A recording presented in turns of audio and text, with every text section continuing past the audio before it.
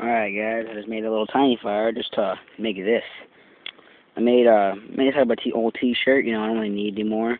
You know, Indiana Jones style. But uh I, I like it, you know, it does a job. It's been lit for some flies on me, geez. Stop. Can I have to get this smoke? But uh it's lit for a good, you know, thirty seconds. It's still going, it's really good. So it's it's um it's an old t-shirt you can't tell it's a t-shirt anymore, but you guys can see. But um, you know, it's just just um, this is me, Tyler. You know, just telling you guys about it. It's really easy to make. All I did get an old t-shirt that doesn't fit you anymore. Just uh, you know, make a little fire, get some matches or something. It be kitchen matches. That's what I use. You can see right there. It's uh, it's not as good. When I first started, it was really good, but it's really fun. You know, I like doing this. Hopefully, you guys enjoy it too. If you do, subscribe. I'll make some more.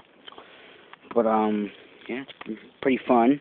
All you, like I said, all you have to do is you make a little fire with matches or gas. I don't care what you use, gas.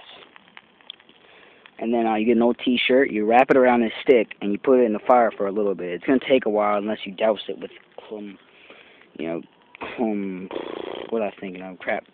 Um, unless you douse it with uh,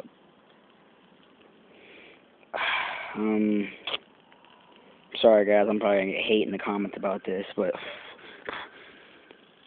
uh, dang it, I forgot. You know, gas or um, corn. Damn it, I can't remember. it is something important. You know what I mean? Corn, cologne, cologne. Oh my God! Finally, it was right in the tip of my tongue the whole time. I just could not think of it, but it did a good job. If you want to, like, you know, you're at nighttime or something, you're out here and you may have fire, but you need to go look for something, you know, kindling or something like that. Make one of these. They'll last you a good minute. I mean, it's still, it's still going. Sorry, my finger's in the way, but yeah. That's about it, guys. Sorry this video is really short. I just want to show you. If you guys want more, please tell me in the comments, and I'll do what you want me to do. Granted, I don't have very good supplies, so, uh, you know, I'll just, uh, I'll talk to you guys later. Bye-bye.